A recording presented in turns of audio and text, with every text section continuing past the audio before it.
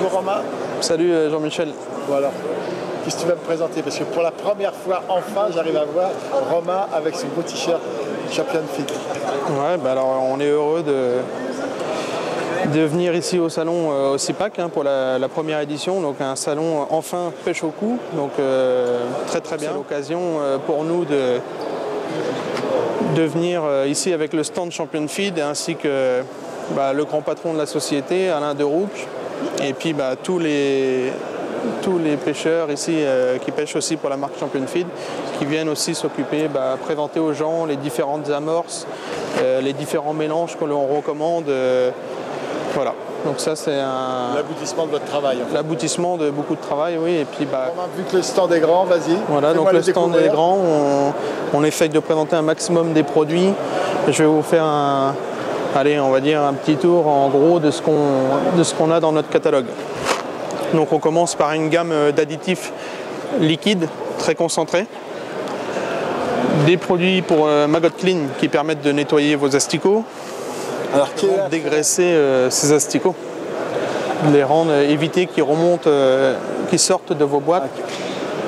Voilà, c'est très très bien. Lorsqu'on veut pêcher, faire des pêches à l'agranage aussi, ça permet de les prendre dans la boîte sans Et Moi, que tu utilisais du maïs, c'est- qu'est-ce que quelle est ça, la différence la farine de maïs. Oui. Ah, ici, c'est beaucoup plus volatile. Ce produit, ça les dégreffe encore mieux. Ça absorbe encore plus euh, l'humidité qu'il y a- dans les asticots. En fait, quand ils Donc, transpirent, ils vont mieux couler quand tu vas grainer. ils vont pas coller justement. Ça Ils va vont mieux couler. couler, c'est ça exactement. Et des sucres, on va dire, euh, que nous on appelle fructaline. Donc euh, c'est des sucres euh, qui sont vendus, que l'on colore nous-mêmes dans un laboratoire. Donc euh, ils ont pour la particularité d'être rajoutés dans l'amorce une fois humide ou même votre terre, pour, à utiliser euh, pour la pêche au feeder, enfin tout ce qu'on en veut. Et ils ont l'avantage de faire une trace. Ça trace comme une fluorescine, on va dire. Ouais, c'est de la fluorescine avec du sucre. C'est un colorant qui est mélangé avec un sucre et un arôme. Donc euh, c'est ça va disponible. faire une trace au fond de l'eau sucrée. Voilà, ça va faire un nuage d'une couleur euh, que l'on désire, que ça soit brune, rouge, euh, orange, jaune. Enfin, on a, on a 4 ou 5. Ça, on va dire que ça va déclencher les 2-3 touches qui vont permettre voilà. de faire 2-3 poissons de plus que Des fois, le poisson il recule, ça permet de le, de le réintéresser à quelque chose de nouveau, c'est pas mal. Oui, il vient par Des curiosité. sucres très très concentrés, dont un qui est ici très apprécié euh, par les pêcheurs de plaquettes et brème, donc le NHDC pur. Donc c'est un sucre euh, qui est mille fois plus sucré qu'un carré de sucre qu'on pourrait mettre dans notre café. Donc c'est euh, vraiment une pointe de couteau, c'est euh, vraiment ce qu'il faut pour un kilo d'amorce. Ça c'est très très voilà très sympa. Donc pareil, ces sucres-là, on les va élaborer avec différents arômes rajoutés, donc aux fruits, à la vanille. Quel est ton coup de cœur dans cette gamme? Bah, le simple, hein, NHDC pur. J'aime bien rajouter ça dans, mon, dans ma terre. Lorsque je fais des tapis de terre, je sais que je vais attraper sur ce parcours euh, bah, des plaquettes. Ouais, c'est vraiment pas mal. ouais. Mm. Après, bah, des, le fenouil, euh, enfin des, des épices vraiment très très. Elles sont boostées les vôtres par rapport à ce que. Parce que Les épices Non. C'est des épices que l'on achète chez des épiciers, en fait, simplement, en plus grande quantité. Oui. Voilà. C'est très simple. Après, on a toujours des additifs liquides qui permettent de, mettre, de faire des, ce qu'on appelle des bonbons avec les asticots. Quand on veut les congeler, on met un petit peu de, de liquide avec les asticots, on ferme la poche, on les met au congélateur. Ça permet de les rendre plus brillants et plus lourds.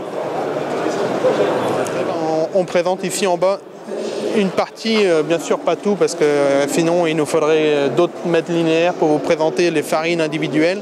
Donc là, c'est plus pour montrer aux gens avec, à partir de quoi on fabrique nos amorces. Nos amorces, elles sont fabriquées à base de chapelure brune, chapelure blonde, des biscuits, des biscottes, euh, du coco belge, euh, des galettes, enfin beaucoup de sortes différentes, mais toujours, nous, notre, euh, nous ce qu'on veut, c'est de faire tout cela dans la plus haute qualité.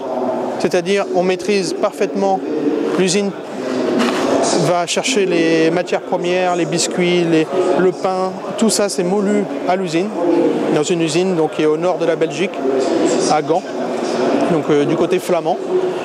Privilégier la, la qualité Exactement. maximum. Exactement. Est-ce que vous avez un quelque chose pour les maintenir plus plus en... Parce que le problème quand on achète ces paquets, désolé, je vais te le dire, Oui. mais on va acheter du biscuit ou tout ça, on ne sait pas quand il a été fait. Alors nous, c'est pas compliqué. Euh, on va dire au coup par coup, donc 2 tonnes par 2 tonnes, puisque déjà c'est pour avoir la meilleure qualité. D'accord. Plus on va fabriquer et moins le stock va partir, moins le stock va être régulier, donc plus la qualité, euh, bah, à force que la morse reste dans les paquets, bah, la qualité descend. Là, c'est pas le cas. On travaille vraiment, voilà, on va dire la qualité. La fraîcheur des produits, la Exactement. avantage qu'il y a aussi, c'est qu'elle travaille toujours pareil. Alors que le, Exactement. pro- le problème de quand le produit est moins frais, il risque de travailler un peu moins bien et tu comprends pas pourquoi ton amorce mécaniquement ne fonctionne plus comme la dernière fois. C'est ça. Et bah, sur les paquets, on a une date. euh, Voilà. Ah, vous avez tous une les date paquets sont. Donc là, par exemple, celui-ci, on a la date d'emballage et la date dès que, quand il sera périmé. Donc la date est de deux ans pour la plupart des produits, sauf quelques produits où c'est un an.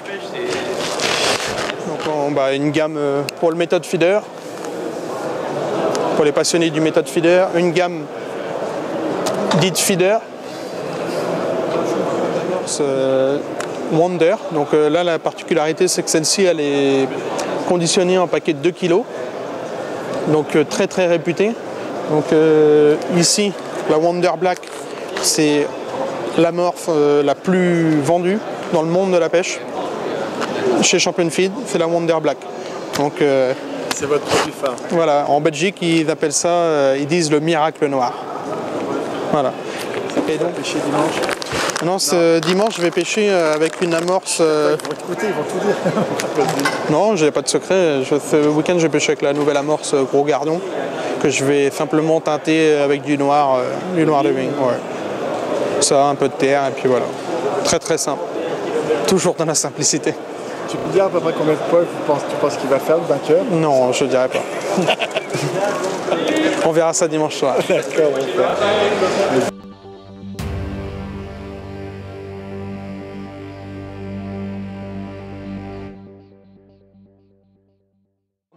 Pour finir, bah, je vais vous présenter euh, bah, la gamme d'amorce. Ma gamme d'amorce euh, Romain Foiratier. Donc Ça, c'est toi qui l'as mis au point, c'est ça? Voilà, donc c'est- j'ai mis ça au là, si on fait pas de poisson, c'est de ta faute, c'est pas de la nôtre. On me l'a déjà dit. c'est vrai? Oui, mais bon. Bah, C'est tellement facile de te dire que c'est de ta faute et pas de la C'est nôtre. c'est toujours plus facile. Non, mais Cette gamme est composée de six euh, compositions différentes. Donc, on va commencer par la plus claire, la Gardon, la, feeder. la feeder, la Brème, l'étang, la Canal, la Gros Gardon et la Gardon.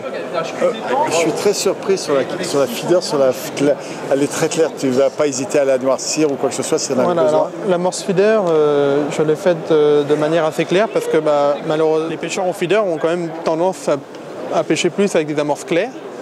Après, bon, il existe les colorants qui permettent de. Il t'est arrivé de prendre ton amorce feeder et de la colorer. Exactement, en noir ou en couleur brun, pas de problème. Ah, par rapport à ce qu'on te racontait sur le secteur en disant que c'est plus du marron qui fonctionne.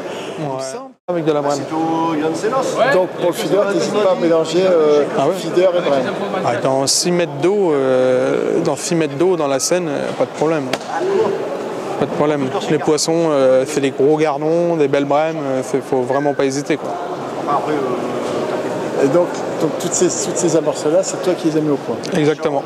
Et donc là avec la, la grande nouveauté, l'amorce euh, gros gardon, donc euh, qui a pour particularité donc la, grande sœur de l'amorce gardon qui existait déjà. Gros gardon, pourquoi? Donc bah, je voulais une amorce dans la gamme euh, bah, pour les gardons parce que déjà c'est un poisson que j'affectionne énormément. C'est un joli poisson. On est nombreux, enfin, voilà. Et donc, euh, je pense qu'il fallait une amorce euh, qui était plus lourde, un peu plus collante et qui travaille différemment. Donc, les deux amorces ont leurs actions bien différentes. Il y en a une qui va travailler en horizontal, une en verticale. C'est ça, exactement. Voilà, Tu vois que je commence à comprendre. en plein dedans. Ils m'ont- Ils m'ont vraiment, ils vous diront, ils vous diront c'est celle-là qui- que je préfère. En vertical, donc ça va être la gardon. Donc pour les eaux peu profondes, parce qu'on veut que l'amorce elle travaille euh, davantage. Et en horizontal, la gros gardon, qui travaille beaucoup plus sur le fond, avec des graines qui sont relativement lourdes, qui vont éviter de remonter vers la surface.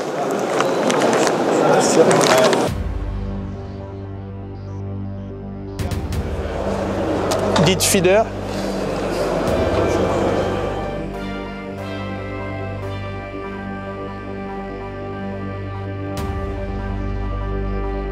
Bah, une gamme euh, pour le méthode feeder, pour les passionnés du méthode feeder.